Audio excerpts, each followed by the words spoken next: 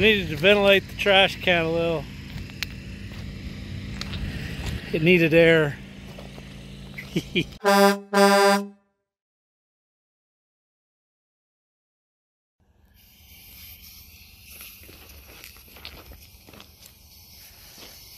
getting so far away for her? Are you scared?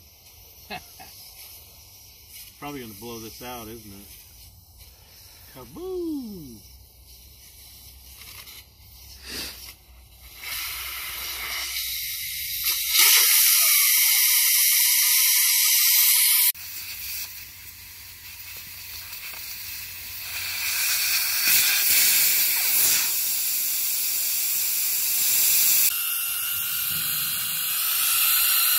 Whistle while you work.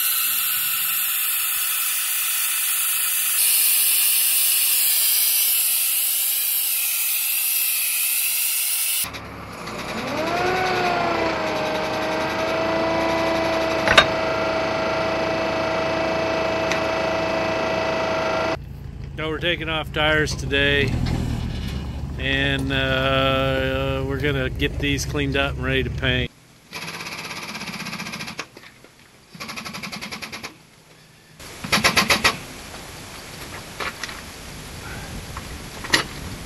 So close, Jake.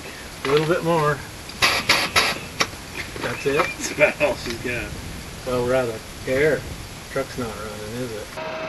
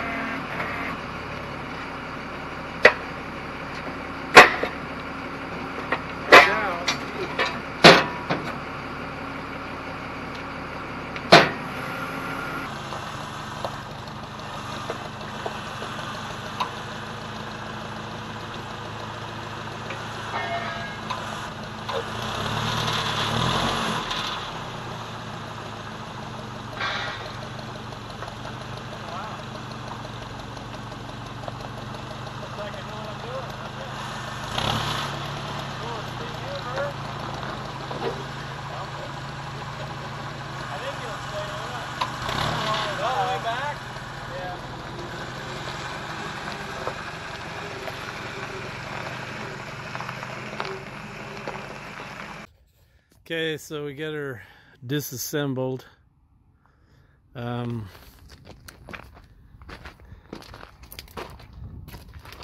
kind of concerns me a little bit right here on this ring. See that spot where it ain't touching? Something's wrong there. So we're gonna have to inspecticate this closely for cracks and see what in the world's going on there.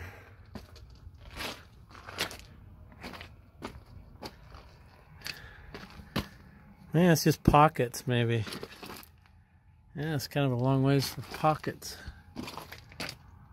Got a lot of pockets on the inside. You only got two on the outside, which is ridiculous. I need more pockets on the outside. So we got the wheels off of her. And they're over there, Steve Gerber. Those are spares, man. I can't part with those spares, buddy. They've been absolutely invaluable to get us through. But when I buy some more and I got more spares, then maybe I'll uh, let you have them. Just give them to you.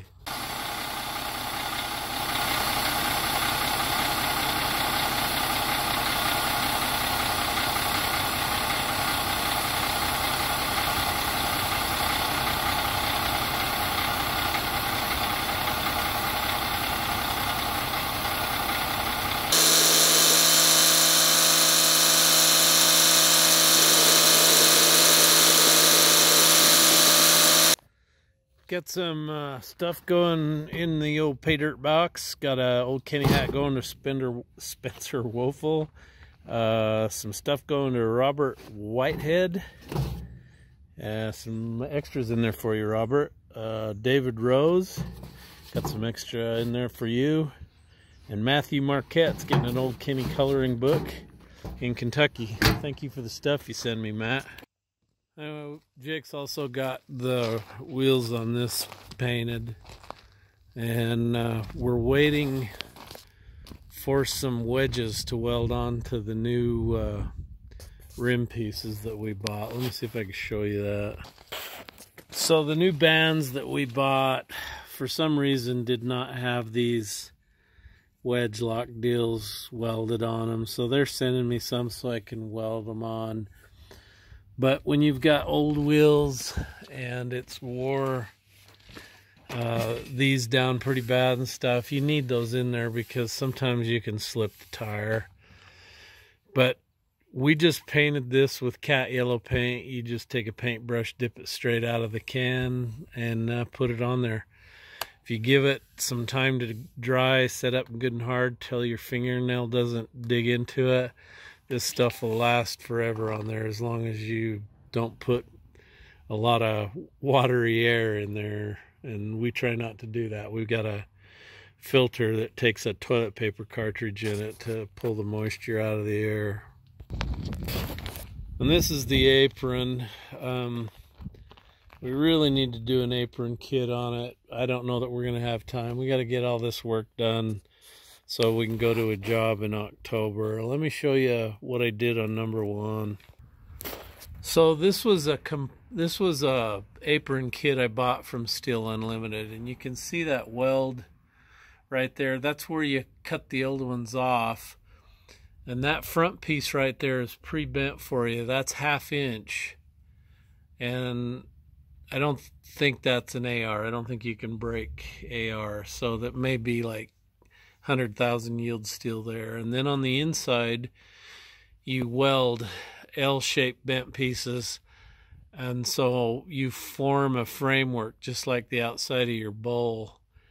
And then where these two pieces come together, you sandwich a one inch thick, I think one by two piece of AR bar in there. And that goes down to the cutting edge. And that's what chops things off and shuts the door.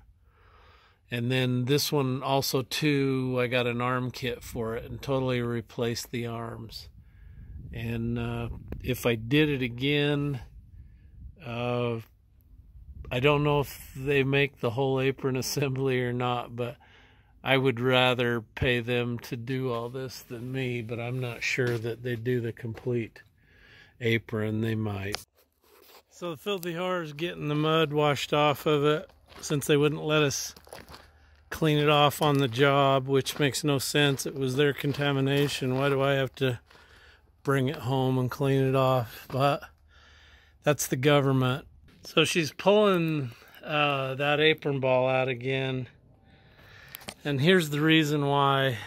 So that ejector has like a half inch thick plate welded to it all the way to the bottom. And then it has, uh, I'm going to guess 3 eighths half inch AR plate welded to it to scrape the sides. Well, it's too thick.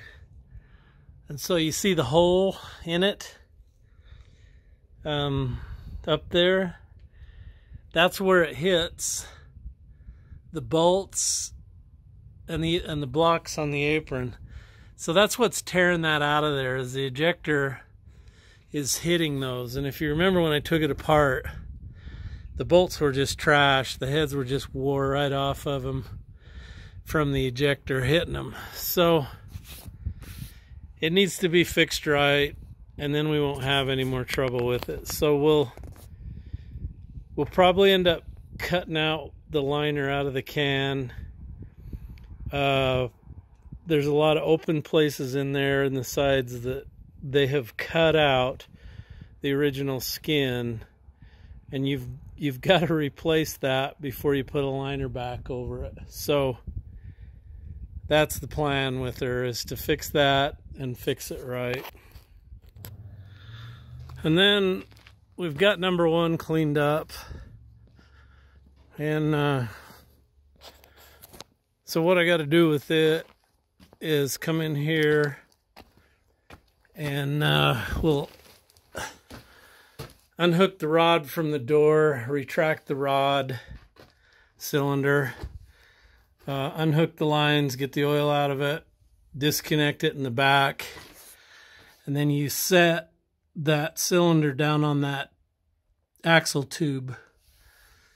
And then you get a hold of it with a crane and a strap and you slide it forward out here and then hook onto it and pull it up out of here. So this needs re-chromed. It's got some bad spots in it. And then uh, I'm going to start modifying heads to take uh, the newer style seal and then that should stop our leaking problem. And then while we're at it, gotta reseal the speed change valve on it. Replace all the O-rings in it. It seems to be leaking. Matter of fact, it's dribbling right now. So, and it's coming out of this O-ring under that short pipe right there.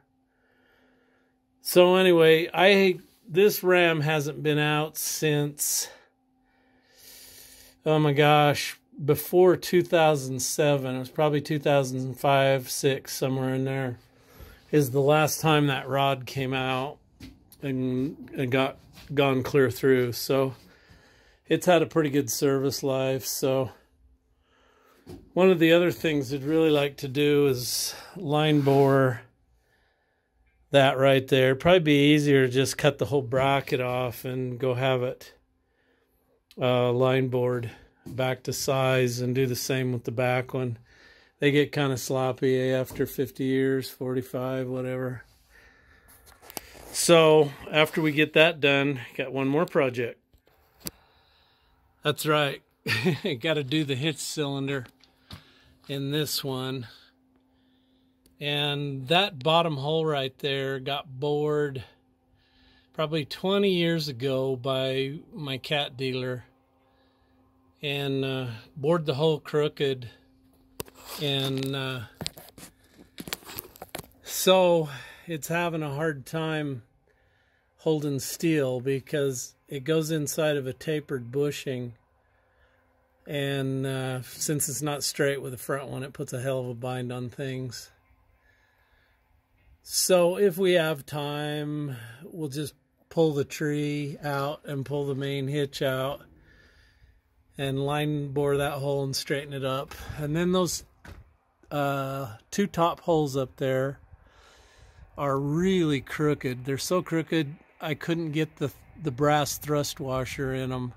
I had to put old used wore out ones in it. And the reason is, is uh, my cat dealer way back in the 80s, I had him come and, and oversize those top holes.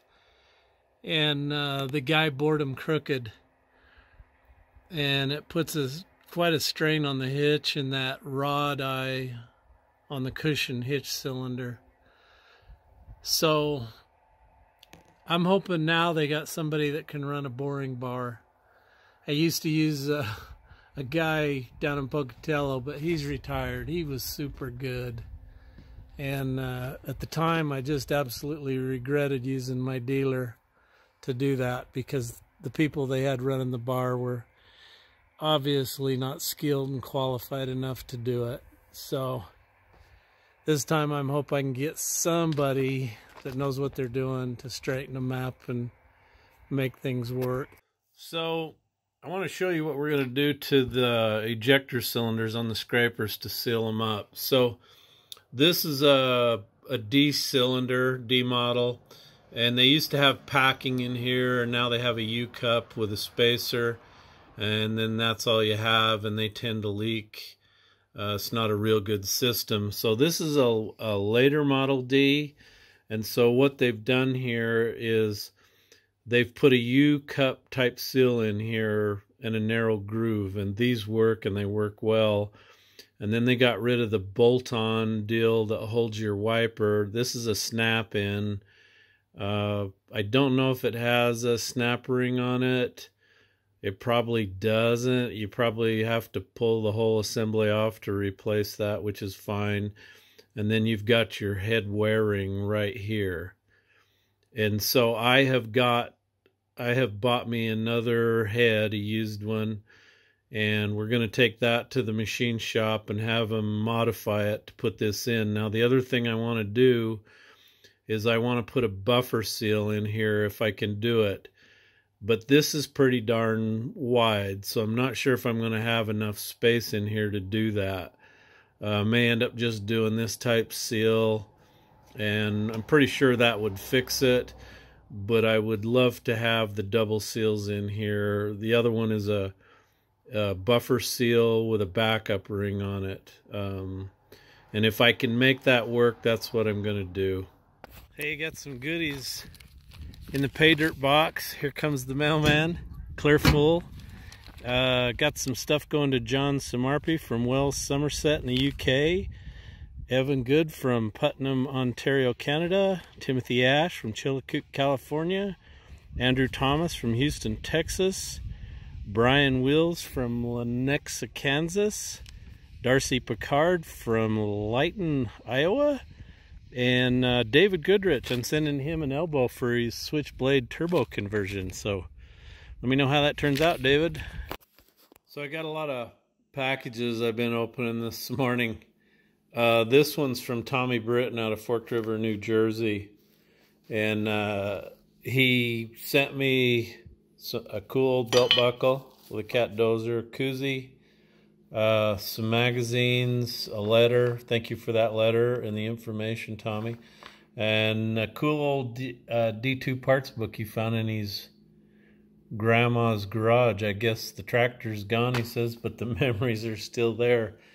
But funny thing is, Tommy, is you wrote "Do not bend" on here, and I'm not kidding you. The post office took that as a challenge, and they literally just bent a crap out of it. And then I got one from a guy out of Ohio, Garth Button from Hubbard, Ohio. And he didn't write Don't Bend on his, and it's virgin, it's perfect. But he sent me a letter and a donation to Shane.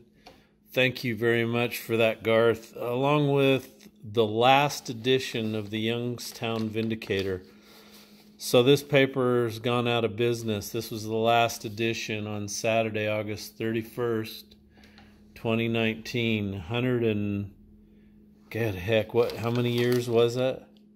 100 and some years. Anyway, this is the original staff, and then this is the current one. That's sad. I don't know. Why are paper's going out of business. Can young people not read? they just like pictures. I don't.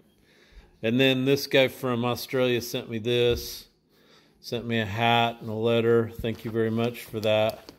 Uh, this is Scott Mitchell out of Tasmania, and some uh, uh, an Australian edition of the Machinery Trader and TruckWorld.com. Thank you for that, guys.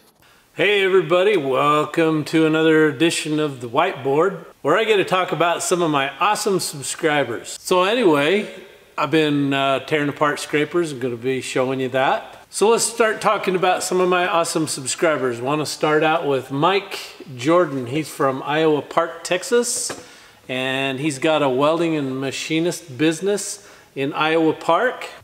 Um, Mike Jordan, Jordan Welding and Machine, 110 North Bell Road, Iowa Park, Texas, 76367, phone 940 592 9756. Uh, Nick Campbell, he's from Casper, Wyoming, just over across the border. Thank you for subscribing, Nick. Uh, Mike Allen, he's from Hancock, Maine. Thank you, Mike. And Eric Ammons, he's from Leesburg, Georgia. Uh, Eric has a heavy equipment repair service, got his own service truck. Uh, so thank you for subscribing, Eric. That's cool. Uh, Warren Jones, he's from Sutton, New Hampshire. Thank you, Warren. Uh, Bruce Wilson from Skellytown, Texas. Thank you, Bruce. And Mark Cat, all the way from Manhattan, New York. Thank you for subscribing, guys. You can get your uh, Old Kenny coloring book uh, in the link below. Want to mention, every video I post, I pin my own comment at the top. Uh, click on the read more button on that comment. It has the link to Amazon to get this. This is only $7.50.